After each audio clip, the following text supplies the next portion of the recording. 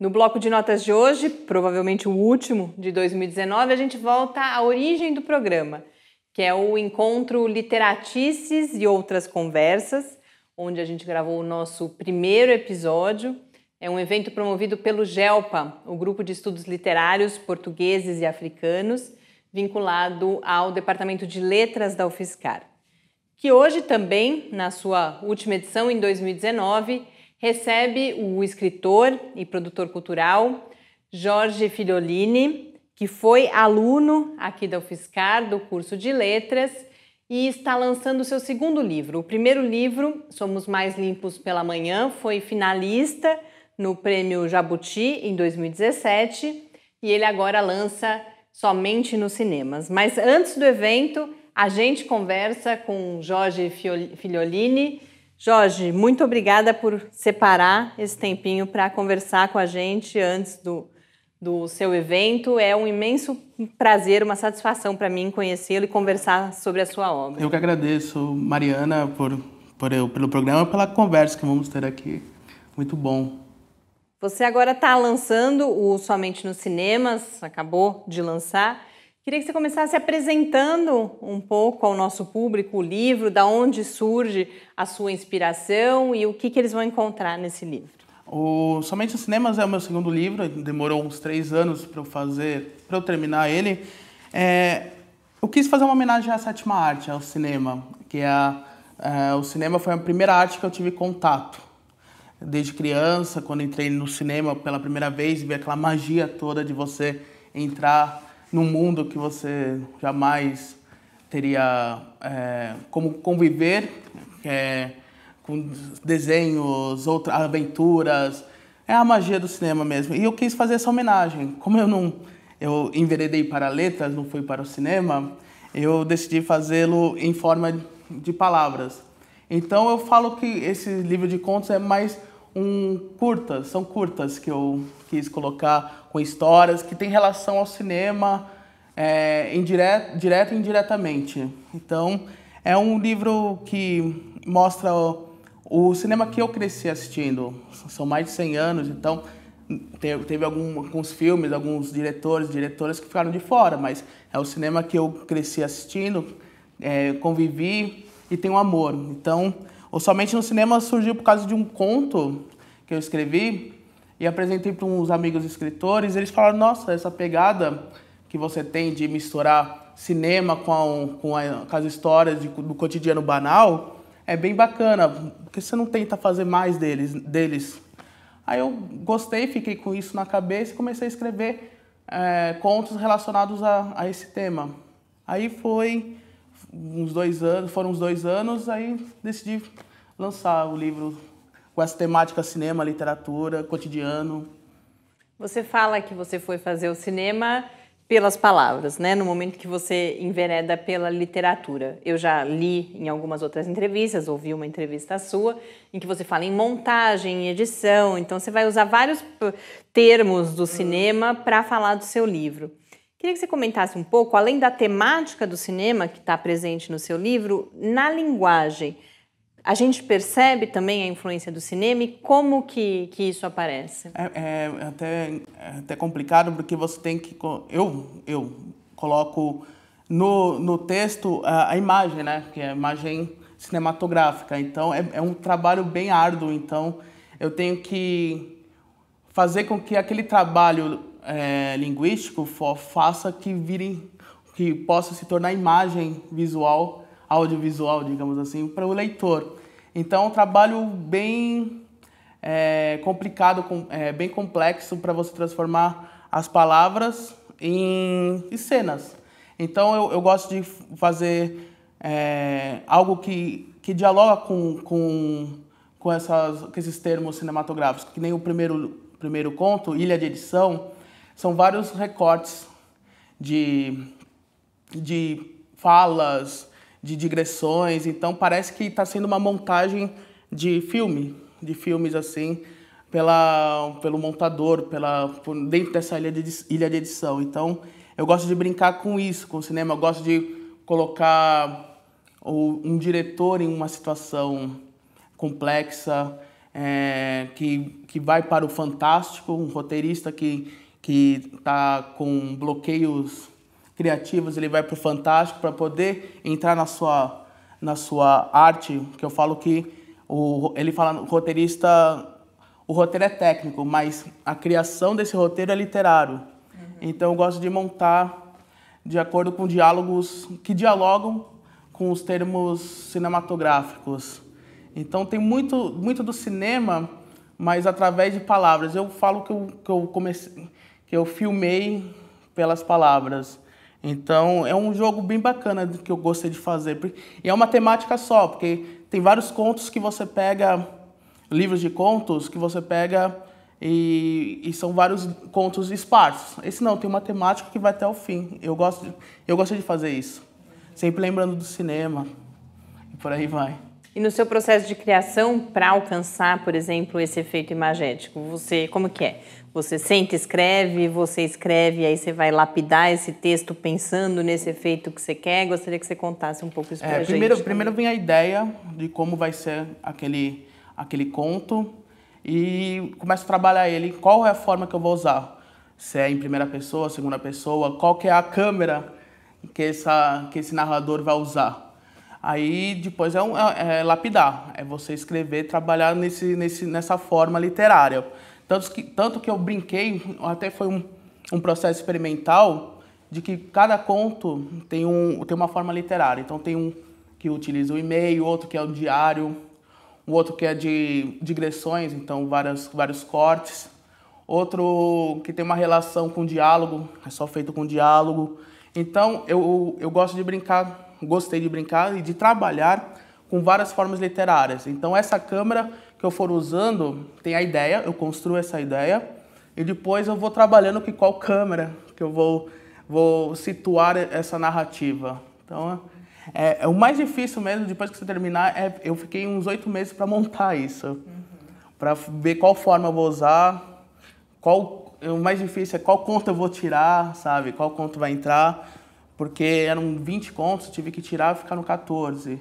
Então, é um trabalho bem difícil na pós-produção, como todo filme também tem esse, esse problema da pós-produção, de tirar ou, ou a, na montagem. Então, eu, eu, gostei de, de fazer nesse livro a experimentação de várias formas literárias. Então, eu pego, eu pego a ideia, construo essa ideia e depois vou começar a fazer a, a, essa forma para que o leitor sinta-se à vontade, sente, sente-se, entre nessa magia de, da tela da minha escrita, sabe? E você falou desse processo aí de oito meses, de tirar conto. O livro tem uma capa que é muito especial também. E está previsto no evento hoje que você fale um pouco sobre esse processo editorial. E queria que você contasse para a gente como foi isso. É, no momento que a gente vive, até anteriormente, sempre trabalha com parcerias aqueles amigos, parceiros que estão contigo. É, o livro passou por oito pessoas, escritores amigos, Marcelino Freire, Paulo Scott, é, Júnior Belé. Então, teve um, um, pessoal que lia, me dava um, um, uma, uns pitacos. Então, esse é o primeiro processo. Você trabalhar e mostrar, porque sozinho você não se escreve, mas depois você põe para o mundo. Uhum. Aí eu passei para esses autores amigos eles leram, me deram, me deram pitacos, falaram para tirar, uns contos, outros não.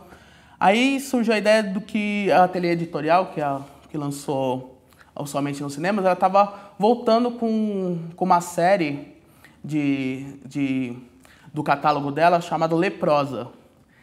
Que quem, quem, for, quem fundou essa, essa série foi Marcelino Freire, escritor.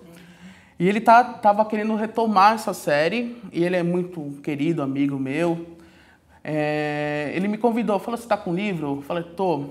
Aí ele leu o livro, gostou da ideia, falou que, que era de acordo com, com a série, porque a série trabalha muito com, com uma narrativa experimental também, esse selo. E ele me apresentou para o Plínio Martins, que é o dono da, eh, da Ateliê Editorial, o editor. Eles gostaram e decidiram publicar. Aí, mas o livro só estava no texto. Aí o que, que eu fiz? Eu falei, caramba, e agora? E o que, que eu vou fazer, né? Aí eu queria uma capa bonita, assim, uma capa que chamasse atenção também. E um, um querido amigo meu, Lourenço Mutarelli, ele é amante de cinema também, ama cinema, um querido amigo. Ele estava um trabalho recente de recortes. Ele abandonou a, o desenho com o Nankin e ele começou a fazer recortes. Um trabalho de recortes maravilhoso, de colagens. Aí eu falei, pô, mas sempre que quando pedem alguma coisa para o Mutarelli fazer, é, envolve desenho. Uhum. Falei, não, mas eu quero uma coisa diferente. Aí eu falei para ele, oh, Muta, eu gostaria de, de que a capa fosse uma colagem, as suas colagens. Aí ele ficou feliz, porque nunca tinham pedido isso para ele. Ele ficou feliz e fez. E é interessante que a capa, ele tem uma coleção da revista Time, de 1940. Uhum. Uma coleção bem histórica dele. E ele retirou todos a, a, os recortes é, dessa revista dos anos 40. Então você vê plateias antigas, você vê a, cenas de filmes antigos, as pessoas, até tem um, na capa, quando se puder ver, tem gente dormindo na plateia, então ele quis utilizar, sabe? Então ele brincou com, com essa colagem relacionada ao cinema. E ficou maravilhoso o trabalho. E tem a orelha, que foi escrita pela atriz, roteirista Fernanda Dumbra, que o meu livro fala muito do interior, principalmente São Carlos. E ela é de São José do Rio Preto e foi para São Paulo é, tentar a vida artística, assim como eu fui para São Paulo tentar a vida literária. E a gente e é uma é uma é interessante porque São Paulo tem muita aquela coisa de não conhecer ainda o interior, sabe? Os paulistanos. E eu falo muito do interior, de como era a visão interiorana é, nos, nos, meus textos. E a Fernanda é do interior. Eu falei, Fernanda, por favor, escreva a orelha para mim, que ia ser incrível. Ela gostou, escreveu. Então ela tem uma relação também, porque ela é do interior, ela fala do livro sobre o interior. Sempre teremos São Carlos, assim como sempre teremos Paris, uhum. em Casablanca. Então a gente sempre brinca com isso. E foi mais ou menos isso. Aí juntei tudo e mandei para o ateliê e ficou um resultado maravilhoso. Tanto que quando falarem, vai ser, se não gostarem do livro, pelo menos vão falar que a capa é melhor que o livro. Sempre teremos São Carlos e você hoje está de volta aqui em São Carlos, onde você passou um tempo no curso de letras e, inclusive, você falou de parcerias antes. O Pós-Fácil é do professor Jorge Valentim, que é quem promove esse encontro aqui hoje, inclusive.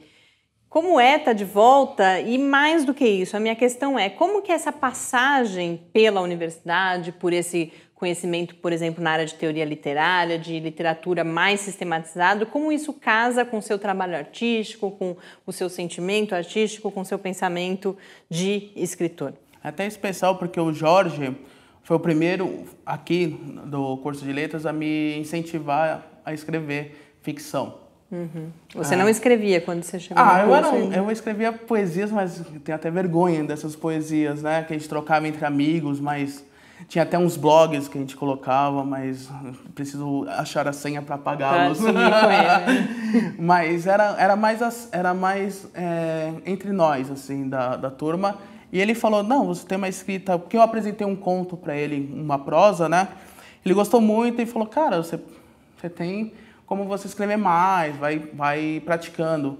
E foi o Jorge que foi o primeiro que me incentivou a escrever, a falar, a falar assim, querido, é, o curso, o curso de letras é, não é para você, você é para escrita, não é para ser crítico literário, porque é uma formação aqui de crítico. Falei, perfeito, eu abandonei o curso e fui me dedicar à literatura, à produção cultural, à literatura.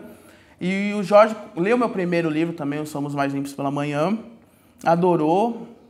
E ele falou assim: Isso faz uns três anos. No próximo, eu, se possível, eu quero estar no próximo livro, nem que seja para uma frase na quarta capa. Eu falei: Não, você vai escrever um texto. E promessa é dívida. E eu cumpri. O Jorge escreveu um, um pós-fácil maravilhoso, que sempre releio e choro, porque é emocionante, porque é, o Jorge foi um, um, um, parceiraço, um pai, como eu falo. Ele me chamou para fazer iniciação científica, ele tinha um grupo, que é o GELPA, que a gente se reunia para conversar sobre literatura. Ele me apresentou o, os escritores para que me deram muito arcabouço literário para poder também praticar, como Vigílio Ferreira, Saramago, a poesia também com Adília Lopes, sabe? É, e além dele, também tem a Regiane Rocha, que é, litera, que é professora de literatura brasileira contemporânea. Ela me apresentou em, é, autores imensos, tipo, tanto com Marcelino Freire, eu conhecia a escrita do Marcelino Freire com ela. João Gilberto Noll, com, a, com, os contos maravilhosos, Clarice Lispector, mais a fundo, sabe? Então foi criando, foi graças a eles que foi criando uma, um despertar literário é, para mim, assim, para eu poder escrever também. Então é sempre, a gente fala... É, que o escritor nunca está sozinho, está sempre próximo com seus pares. Então, os próximos dos seus pares é, são os livros na estante, nas estantes. Então, sempre vão, vão te ajudar a, ou aconselhar em qual caminho da escrita você vai seguir. E foi graças ao Jorge e à Regiane, que são dois queridos parceiros que me incentivaram a escrever. E foi graças ao, ao estar na Letras aqui na UFSCar que eu conheci eles. Tem, e que a gente tem esses dois é, livros agora e muitos outros ainda Exatamente. Virão. Você, além de escritor, é produtor cultural, tem alguns projetos e um deles é o site Livre Opinião. Queria que você apresentasse, contasse um pouco a história, qual é o objetivo da produção que aparece lá, que não é só sua, inclusive, né? A gente tem várias pessoas Sim. escrevendo. É, o Livre Opinião nasceu aqui na UFSCar. É, foi numa palestra que eu e uma, um colega de faculdade tivemos assistimos do Rinaldo Gama, que ele era editor do Sabático, que é do Estadão lá atrás. Uhum. E ele falando da produção do, dos jornais literários estavam é, em seu momento final, e aí ficamos desesperados, porque a gente gostava de ler resenhas, críticas, é, acompanhar o que está acontecendo na literatura atual. Tudo, tudo, claro que agora voltou, como a 451, a Bravo voltou virtual.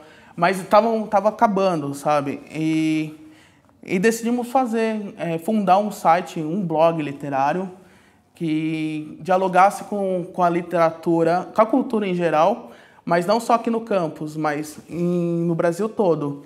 Aí fundamos em 2013 e começamos a fazer entrevista, tanto que o nosso primeiro entrevistado foi o Luiz Rufato, aqui na, esteve no curso, aqui recentemente, esteve aqui no, né? no, também no projeto. E começamos a fazer entrevistas, começamos a fazer resenhas, convidar pessoas para fazer resenha, tanto que o Literatices e outras conversas é, eram, eram uma coluna ah, é? do Jorge no livro Opinião. O Jorge sempre fazia isso mensalmente, essa coluna. E, e isso também começou uma paixão em mim para seguir para a comunicação, para entrevistas, para fazer resenha, rascunhos sobre livros. E, e comecei a, a ir para esse caminho da comunicação. Então, o Livre Opinião está desde 2013 fazendo vários, é, várias experimentações, chamando gente que nunca publicou para publicar. Então, tem um, uma coluna só de poesias contemporâneas, tem um, um, um, um arcabouço de, de entrevistas maravilhosas. Quem com João Gilberto Nal, que já faleceu, Cursino Fortes, de Cabo Verde, também que faleceu. Então, é, é, uma, é um documento assim que temos muito orgulho de ter feito, sabe? Então, de um pessoal assim do curso de letras que estava no, no CA, no centro acadêmico, decidimos fazer e começou a crescer. E isso começou a, me ter, a, ter, a eu ter mais contato com escritores, a conversar mais, a viajar para para eventos literários, cobrir. Então, o livro Opinião foi o, o, o embrião dessa minha também é, trajetória literária e cultural que eu sigo até hoje. E tem um projeto que é super recente, que eu pude perceber que você está bastante entusiasmado, preparando a entrevista, olhando seu Facebook, por exemplo, a gente vê um encanto, você divulgando bastante, que é o alerta de spoiler. Que projeto é esse? É um projeto maravilhoso, é, foi ideia do, do pessoal do SESC Paulista, de incentivar a leitura para o público que, que sempre vai à biblioteca dessa unidade, né? E eles queriam fazer algo, algo novo, então chamar um curador, me chamaram para essa primeira edição, para convidar é, artistas para indicarem livros para o público ficar curioso e saber. Mas é, é interessante que nesse, nessa indicação, ele vai dentro, o livro vai dentro de um envelope e o autor não pode dar, não pode dar, vamos dizer assim, spoilers. Seu li qual é o nome do livro e qual é o nome do autor. Ele tem que dar uma sinopse curta de 240 caracteres, igual, Bem curto, igual né? ao Twitter, uhum. né? Bem curta para ficar no envelope. Então a pessoa que estiver caminhando nesse, no, na biblioteca e, e ver esse envelope, o livro vai estar lá dentro escondido, e gostar da sinopse, uh, dessa dica desse autor, dessa, dessa autora, ele vai poder retirar o livro e vai abrir só depois para saber que livro que é. Então é bem curioso, porque... Isso eu achei interessante, que ele tem que retirar e só vai descobrir só vai, depois. É, né? só vai abrir depois, porque é bem lacrado.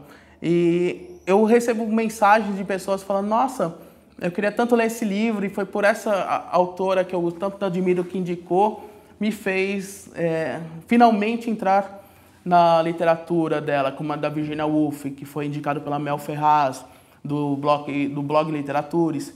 Então, é, começou em novembro e vai até janeiro. Então, é um projeto bem bacana, que eu tive o maior orgulho de ser curador, ao lado da Karine Souza, que é, que é assistente de curadoria, ela toca um projeto muito bacana, que é de mulheres negras na biblioteca. Então, a gente fez um apanhado de convidados para indicar. E tá bem bacana. Tem Cidinha da Silva, tem Daniel Munduruku, tem Eliana Potiguara, tem Yuri Alhanat, que é do, de, de booktubers e youtubers. Então, a gente gostou de trazer todo esse público para indicar seus livros.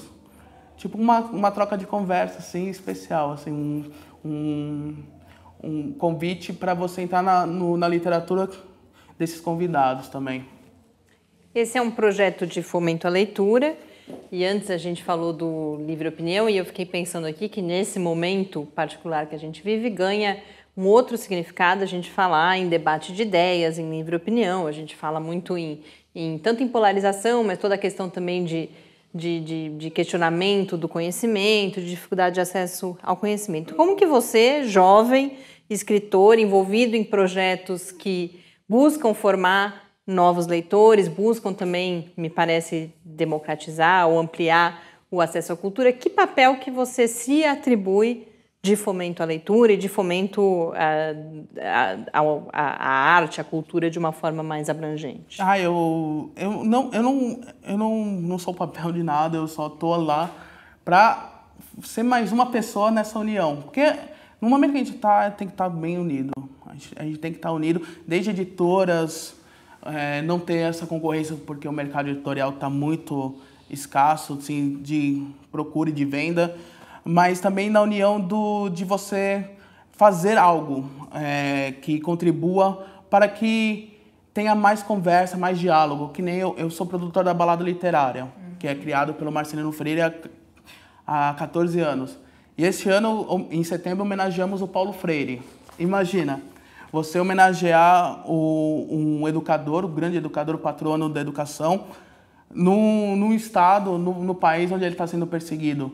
Então é esse, esse tipo de, de união e posicionamento que faz com que a gente vai contra algumas censuras, algumas perseguições contra a cultura.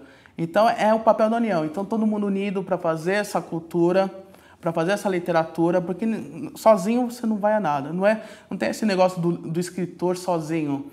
Tudo bem, você, Gênio, né? você escreve Isso, seu livro sozinho, mas você também está com o público. Você vai e sai, você sai para conversar, para dialogar. Você vai no sarau da Cooperifa, lá em Bom da Serra, sarau do Binho também.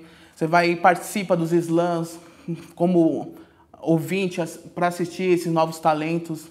Então é, é a efervescência que tem que estar tá junta para em embate contra toda a perseguição que a gente está tomando. Então, esse é o papel, é cada vez mais unido, como alerta de spoiler, é trazer os convidados, os artistas, para colocar também posicionamento. É, qual livro? O livro que eu vou indicar é o livro do Paulo Freire, sabe? O livro da Rosa, Rosa Luxemburgo. Então, é bem isso, uma frente de batalha. Isso eu chamo de frente de batalha, estar junto e partir para cima.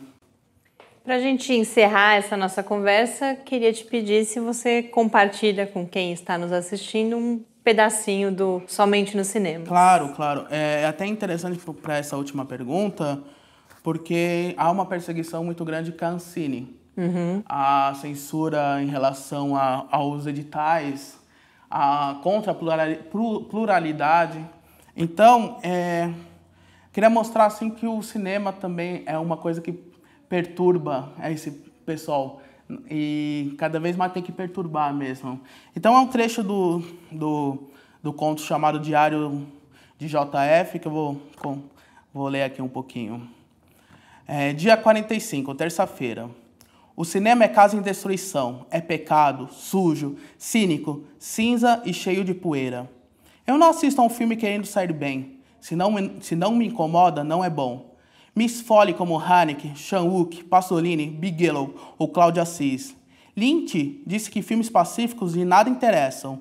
Quero a orgia, o tratamento masoquista, meia calça rasgada, ponta do salto-agulha nos olhos. Quero um filme de derrubar soldados, matar o presidente com foice, cachoeiras de sangue. Um bom cinema submerso em rios com piranhas faminta. Tapa na cara dos velhos. O filme que ainda não foi filmado por ser violento demais. Vou dirigir o longa de vomitar a Billy, aquele de iniciar uma guerra, de mostrar as pelancas, nojento, repulsivo, imundo, desagradável. E viva o cinema, que é isso aí. É um cinema que incomoda. Muito obrigada, Jorge. Obrigado. Uma, uma honra, um prazer para mim. Imagina. Um privilégio poder é conversar, ouvir e agora quero ler o livro inteiro. Claro, obrigado, viu? Valeu. E para quem mais também quiser ler o livro inteiro somente nos cinemas do, da Atelier Editorial. Está à venda no site da editora, então é, todo mundo pode ter acesso. Muito obrigada, a gente se vê no próximo bloco de notas.